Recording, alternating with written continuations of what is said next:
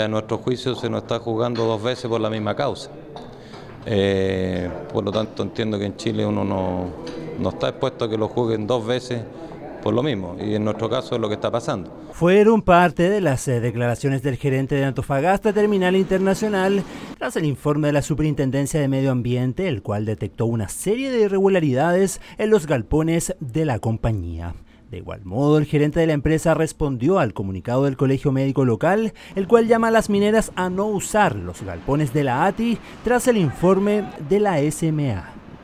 No nos parece correcta esa posición del colegio médico, creemos que ellos deben ser más serios, estudiar y de nuevo tener eh, comentarios más bien objetivos, basados en hechos eh, y no en aspectos eh, circunstanciales o más bien subjetivos. Pero no fue el único quien respondió al llamado del colegio médico. Lo que tienen que hacer las mineras eh, lo que le correspondería a ellos, digamos, es evaluar dónde están las mejores condiciones eh, de carga y las mejores condiciones ambientales y de seguridad ambiental que le pueden dar los distintos proveedores que se encuentran en la región de Antofagasta.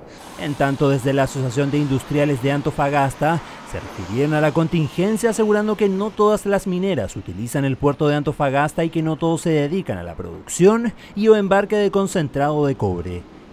En esta línea, desde la IA, se refirieron a los desafíos. Tenemos que construir una nueva etapa, definitivamente. Eh, la comunidad en general, las organizaciones sociales, ¿no es cierto? Eh, todos estamos... ¿En materia legislativa principalmente? No solo en materia, en materia legislativa, ¿eh? yo creo que también en estándares. La, la autorregulación de las propias empresas también en esto es importante.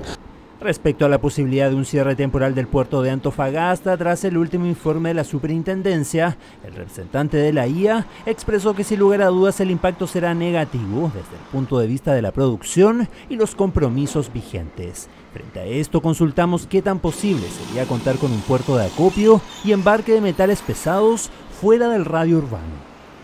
Yo no lo descartaría como una posibilidad. ¿eh?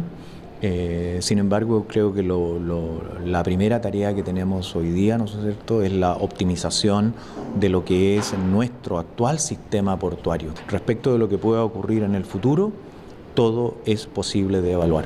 Pese a los intentos, representantes de Minera Sierra Gorda declinaron referirse sobre estos temas. Reacciones y discusión sobre la mesa tras el último informe de la superintendencia sobre las condiciones de los galpones de la ATI y que hoy se ponen en tela de juicio respecto a los estándares y el nivel de cumplimiento a las normativas vigentes.